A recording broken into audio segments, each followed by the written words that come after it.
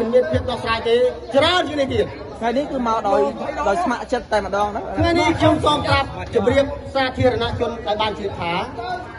ពួកយើងមកនេះគ្មានបានពីណាមកជួយយើងទេបាទអត់មានពីណាជួយយើងទេមែនទេបងប្អូនមែន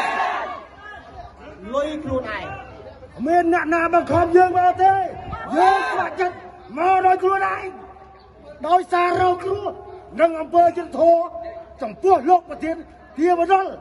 ដែលហ៊ានសម្លុតថ្នាក់មូលដ្ឋានដែលជាតំណាងឲ្យប្រជាពលរដ្ឋតាមមូលដ្ឋាន ដែលរៀបខំបោះឆ្នោតឲ្យរាប់ម៉ឺននាក់ហេតុអីបានគាត់គម្រាមមកសមាជិកសមាជិក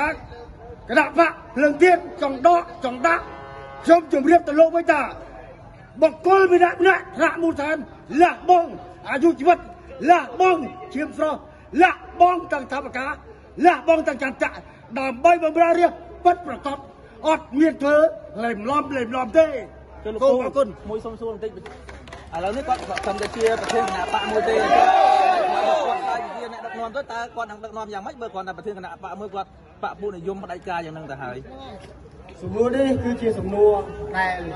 សំខាន់ណាស់គាត់គ្រាន់តែជាប្រធានគណៈបកមួយដ៏តូចគ្រួសារដ៏តូចដឹកនាំមិនបានផងណាបាទគាត់ដឹកនាំអត់បាន